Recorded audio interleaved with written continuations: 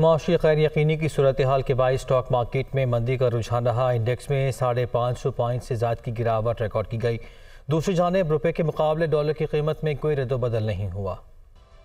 कारोबारी हफ़्ते के चौथे रोज पाकिस्तान स्टॉक एक्सचेंज में सरमाकारों ने हसस फरोख्त करने को तरजीह दी। यही वजह है कि अख्ताम पर मार्केट पाँच सौ सत्तावन पॉइंट कमी के बाद हंड्रेड इंडेक्स इकतालीस हज़ार एक सौ उनासी पॉइंट की सतह पर बंद हुआ। स्टॉक तजियाकारों के मुताबिक सियासी हलचल और खराब माशी सूरत हाल के बाईस सरमाकार स्टॉक मार्केट में नया सरमाया लगाने से न सिर्फ़ घबरा रहे हैं, बल्कि कई इन्वेस्टर तो शेयर फरोख्त करने में ज़्यादा दिलचस्पी ले रहे हैं। यही वजह है की स्टॉक मार्केट में मंदी का रुझान रहा। दूसरी जानब रुपए के मुकाबले डॉलर की कीमत में कोई रद्दबदल नहीं देखा गया। इंटरबैंक में डॉलर दो सौ चौबीस रूपए इकहत्तर पैसे पर बंद हुआ, जबकि एक्सचेंज कंपनियाँ ओपन मार्केट में डॉलर के रेट दो सौ चौतीस रूपए बता रही है। माशी माहरीन के मुताबिक कर्ज सूद की अदायगियाँ, बरामदात, तरसीलात जर में कमी और बैरूनी सरमाकारी घट जाने के सबब जर मुबादला जखायर तेज़ी ऐसी कम हो रहे हैं, जिसके बाईस रूपए आरोप दबाव बढ़ रहा है।